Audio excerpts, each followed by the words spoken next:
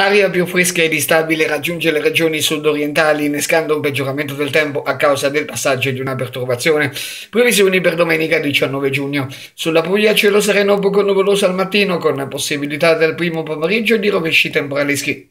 In serata, progressivo miglioramento su tutta l'area adriatica. Temperature che scenderanno intorno ai 23 gradi nel Foggiano, 29-30 sulla fascia tarantino-ionica. Venti deboli di direzione variabile, mari mosso all'Adriatico e restanti bacini.